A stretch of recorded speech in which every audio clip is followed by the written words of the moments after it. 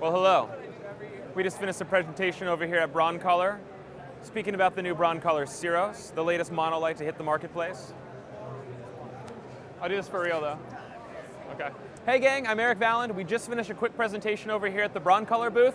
We were using the Para 88 as our modifier, and we were actually talking about the new Broncolor Siros, which is the new monolight they just announced. It should be out uh, January of 2015. I got a chance to shoot around with them a little bit after Photokina. Absolutely love them. Putting together some presentations, and I'm going to share some behind the scenes videos from those shoots with you. Um, so stay tuned to the Broncolor social media channels, and I hope to see you around.